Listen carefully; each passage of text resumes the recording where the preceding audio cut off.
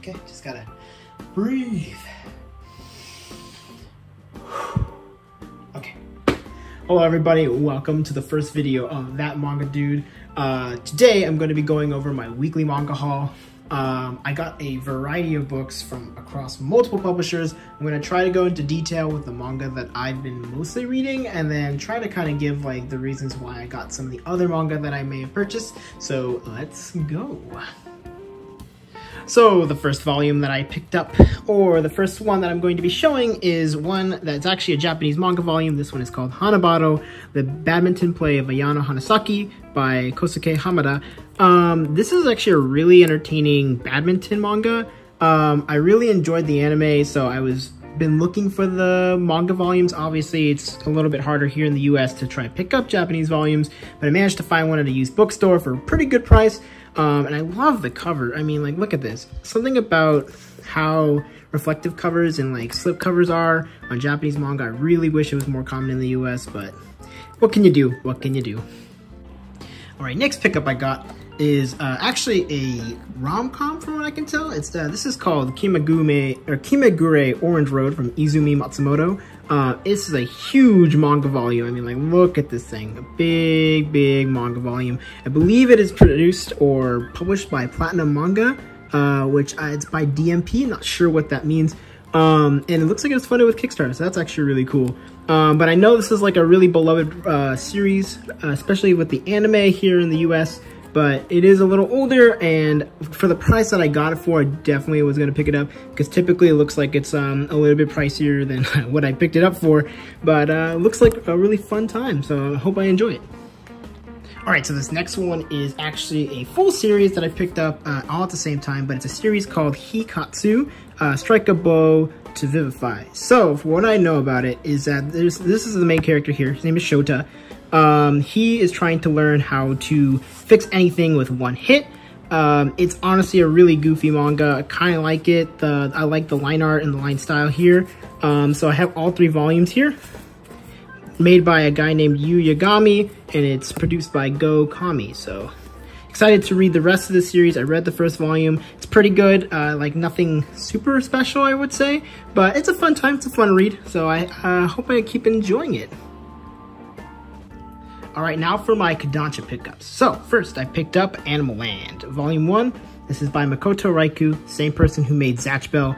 Um, I love Zatch Bell as a kid, and I still love it as an adult. This series looks really goofy, just like Zatch Bell does, so hopefully it's just as entertaining.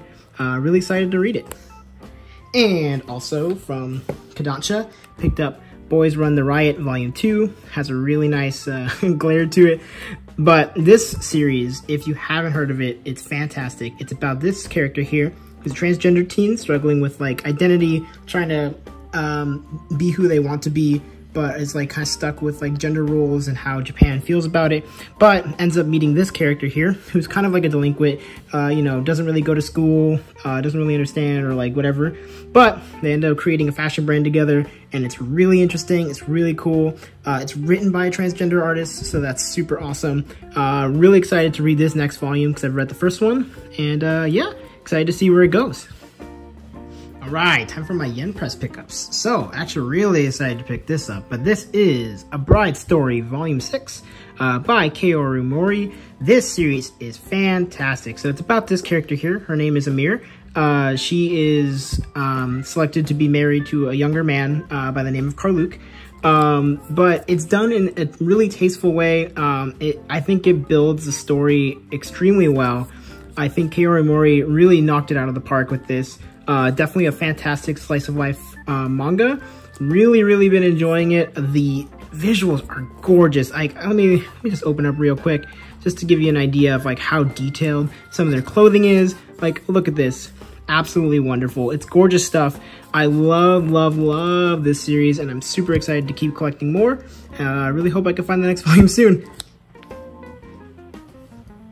And after that, we got two volumes of the same series. This one is Silver Spoon by Hiromu Arakawa, which, if you couldn't tell, is by is the creator of Full Metal Alchemist. This is her second series, I believe, that's been uh, published here that where she's done both the story and the art alone. Uh, this is more of a slice of life um, manga, obviously, in comparison to Full Metal Alchemist, but it's about our main character here. His name is Hachi, uh, Hachiken.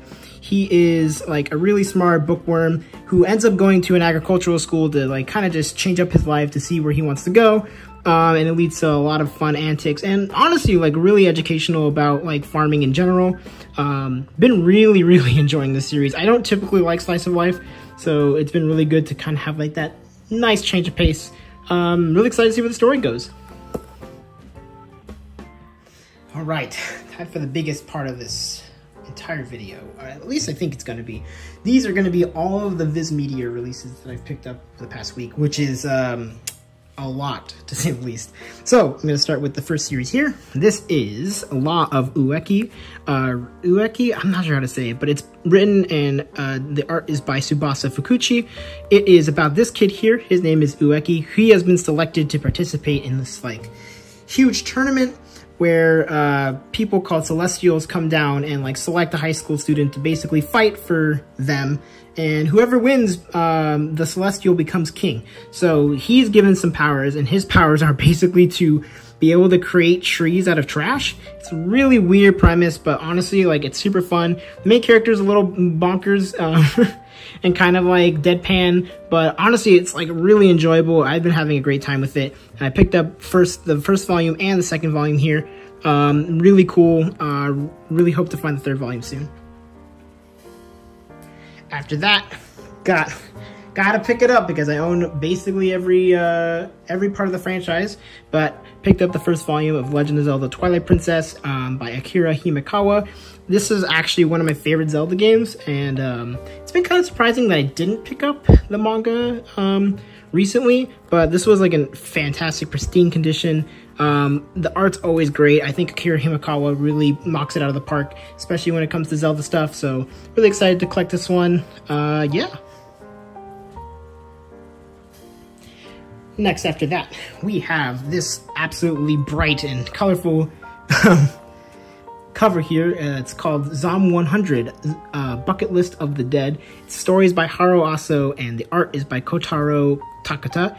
So this series, uh, what I know of it is it's written by the same guy who did a series called Hyde and Closer, which I really have been enjoying. Uh, haven't picked up a couple volumes in a while, but the story artist is also the same person who did Alice in Borderland, which uh, a Netflix series just re recently came out, I think within the past two years. That was really fun and really interesting, so excited to read this one. Hopefully it's as good as the other two. Um, yeah, excited. And now, time for the Shonen Jump releases, which is more than you'd expect. but first is the last volume of Demon Slayer, volume 23, story and art by Koyoharu Gotoge. I think that's how you say their name. Um, this series, I...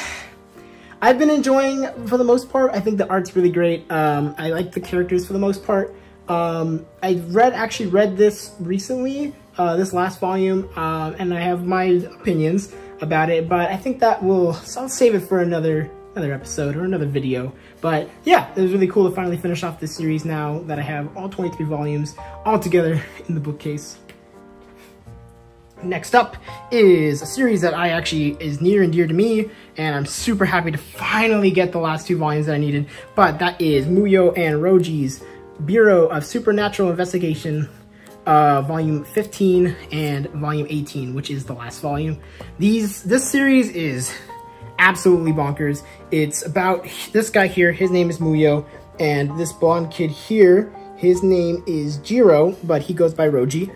Um, and it's basically like they go around the world or they go around like the place trying to exorcise demons or exorcise ghosts who are who've been in the world for too long for a variety of reasons, but um, it's super interesting. The art is very unique, as you can see just from the covers. Like, it's not your typical manga art style, but I love it. I've been enjoying reading it and finally getting volume 15 and 18. Excited to be able to finish it off. And the anime just recently came out too, which you should check out.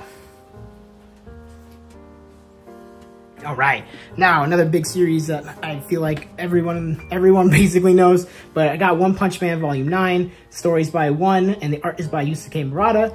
Uh, well, if you don't already know what the series is, it's about uh, our favorite bald man, Saitama, who basically has the ability to beat everybody with one punch. Um, you know, kind of similar to Hikatsu in that way, which is kind of weird to say, but uh, it's really fun. Um, I'm not like super keen on the story per se, but the art is fantastic. Yusuke Murata always kills it in terms of like his art. Uh, if you haven't read Eyeshield 21, I highly suggest reading it because it's by the same artist. Um, yeah, it's a good time. If you want just like a fun romp where like nice mix of comedy and action, this is the series for you.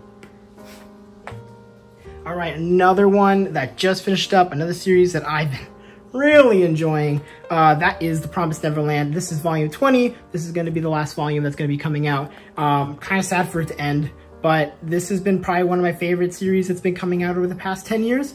Um, it's about characters Emma, Norman, and Ray. Uh, these three are like the main characters of the series, but basically the premise is, is that they're all living in a world at this orphanage uh, run by uh, a nice lady or supposedly a nice lady, but you come to find out that they're all being made for food and it's about their journey of escaping and then attempting to escape the world that they've uh, been placed in. So uh, I love it. I've been enjoying every every volume that I've gotten. Uh, I've heard the anime isn't as good, so you know take that as you will. I haven't watched it, but the manga is definitely, I would say, the way to go. Uh, and this volume cover is gorgeous. I love it. It's got all the characters that you come to know and love from the series. So excited to read this and finish off the series. And the last but not least, uh, just picked this up yesterday actually. So this is Tegami Bachi Volume 14. These This series is uh, story and arts by Hiroyuki Asada. Um, I think this series is gorgeous. This is probably one of the prettiest manga that I own uh, in terms of like the way they use black and white um, and just like kind of everything. I can kind of flip through it just to give you an idea. But I think the style is really great. Um, I think the premise is super cool. It's about this kid here. His name is Lag Seeing. He is uh, basically bookmarked as like a package to be delivered to somewhere. Um, so he gets picked up by a letter B, which is basically like the USPS of this world. Uh, and he travels with this guy. And once he gets delivered, he's like, I want to become a letter B just like my, uh, just like the guy who delivered me. So he ends up becoming that. Um, and it's a really interesting series. There's a lot of mystery to it. Um, as I said, the art's gorgeous, so I highly suggest reading it if you can get your hands on it. Uh, it is, I think, 20 volumes, so it's not super long, um, and it's a great read. So yeah, definitely check it out. Well, that's gonna be it, guys. Uh, thank you for watching. Um, it was really fun to kind of go over everything that I picked up. Uh, definitely very nervous, and uh, thank you for, uh, you know, sticking around. Like, comment, favorite, subscribe, and I'll see you in the next video.